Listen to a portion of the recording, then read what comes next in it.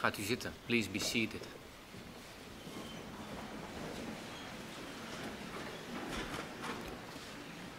Welcome, excellencies, special guests, ladies and gentlemen, dear students. So we are 83 years of age today, and I'm proud to say that Tilburg University is very vital and successful. Research and sustainability takes place on the interface of economics, law and ethics. It focuses on topics as climate change, corporate social responsibility, sustainable development and investment, environmental economics and nature protection law. And the Tilburg Sustainability Center was founded in 2009 to bundle, focus and further build on the sustainability research profile of this university. And today, in this academic session, we present it to the outside world. And who better to invite as a guest speaker on this launching event than Vice President Al Gore, a man highly adept at bridging the gap between society and academic research in the field of sustainability. And this afternoon, he will give a presentation about Thinking Green, the economic strategy for the 21st century. And it's my real pleasure to give the floor to Mr. Al Gore.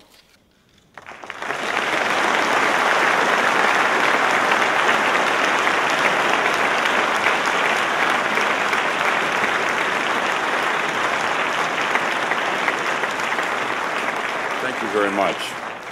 It is a great honor for me to be with you this morning, and I congratulate Tilburg University on your 83rd uh, anniversary of your founding and also on the tremendously uh, impressive founding of this new Tilburg Sustainability Center. I truly believe uh, that this institution has an extremely important role to play in helping us all understand society and understand the unique situation that we are now facing. And the integration of research uh, and learning uh, in the fields of economics, law, and ethics, uh, with focusing as well on uh, behavioral psychology and business development as well as the other uh, disciplines in which you have established expertise, and integrating uh, knowledge from all of these fields into an effort to better understand the tremendous sustainability challenge our world is now facing. This represents a, uh, an extremely important effort. So, what better place to establish this sustainability center? Sustainability uh, is a topic that we approach in this day and time in the context of great economic uncertainty in the world.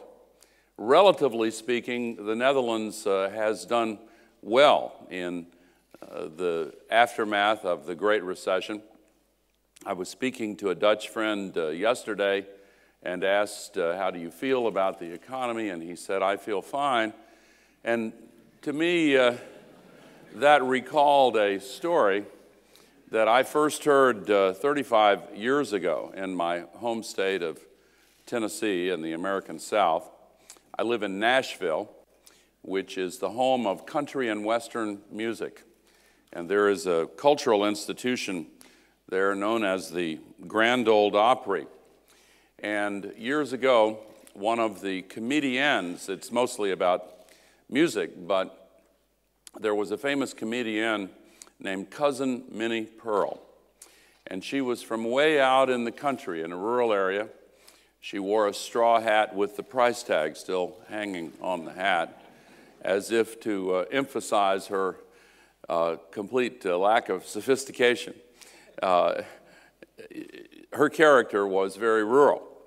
And she told a story. I was driving in my automobile on a Saturday evening, having conducted six town hall meetings with my constituents, uh, and I was tired driving home, listening to the radio, and she told the story about a farmer who was involved in an accident. And he went to court and sued for damages.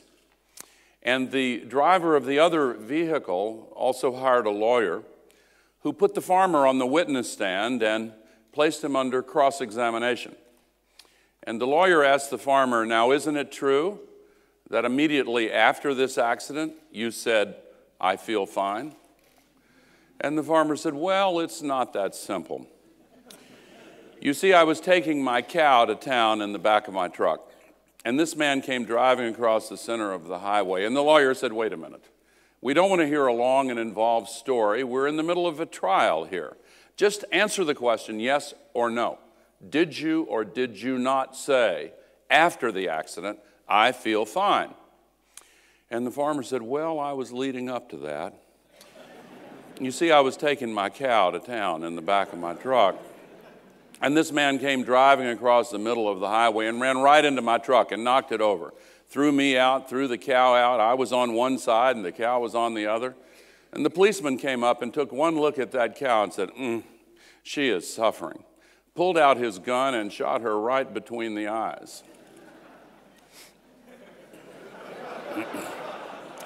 He came around to my side of the truck and said, How do you feel? and so I said, I feel fine. And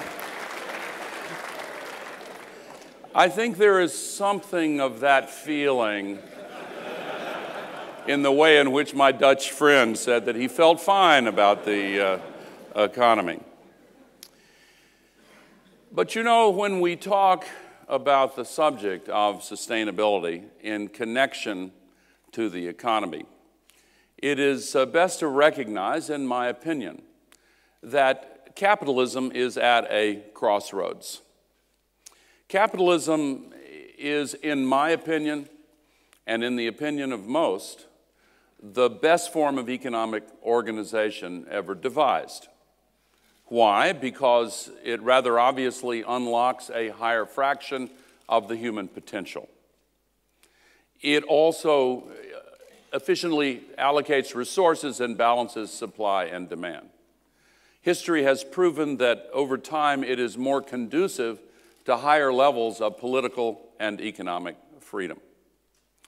But the engine of capitalism is the system of organic, ubiquitous incentives that encourage work, innovation, creativity, uh, and stamina. So, the nature of those incentives is particularly important to any effort to understand the operations of capitalism at any given time. I believe that uh, over the last several decades, we have seen a foreshortening of the time horizons against which those incentives are based. There has been broad discussion of the evils of short termism in the modern global economy. 30 years ago in my country, the average holding period for stocks or equities was six to seven years. Today, the average mutual fund in the United States turns over its complete portfolio in less than 11 months. This short term approach has consequences because the process by which real value in companies is built up over time is itself an organic process reflecting the human interactions that are at the core of any business. 80% or so of the value, the real value of a typical company builds up over a business cycle and a half, roughly six to seven to eight years. This is because it takes time to complete a business plan, to hire employees, to establish supply chains, to find markets and brand identification, and all of the other tasks that involve multiple human interactions and naturally take time. But if the source of investment in companies is now disconnected from the natural organic cycle of value creation. That has an impact on the incentives that drive behavior within companies. Recently, a few years ago, one of the leading business research organizations uh, in the United States did a comprehensive survey of chief executive officers and chief financial officers. And one of the questions was a hypothetical. Here is an investment, the questioner said. It meets your targets for quality investment in your company. It will make your company stronger, more profitable, and more sustainable. But if you make this investment, you will slightly miss your next quarterly earnings projection. Given those facts, will you make this investment? 80% responded no. And that answer will not come as a surprise to observers of the current business environment. And yet, it is nevertheless functionally insane. Because important investments that build real value are being declined on a routine basis if they do not return the money invested in a very short uh, time span. At a moment when our entire civilization is faced with the unprecedented challenge of shifting from carbon based fuels to renewable energy, uh, modernizing the technologies in common use to achieve much higher levels of efficiency, shifting to sustainable agriculture and sustainable forestry. These kinds of changes cannot pay for themselves 90 days at a time. And yet, if the ubiquitous pressures from the investment marketplace penalize executives and businesses that have the boldness and wisdom to make the investments that actually will pay off over a longer period of time, then we end up crippling the ability of business to make the changes that society needs them to make and that they themselves need to make in the best interests of their long term shareholders. It is common to decry the evils of short termism.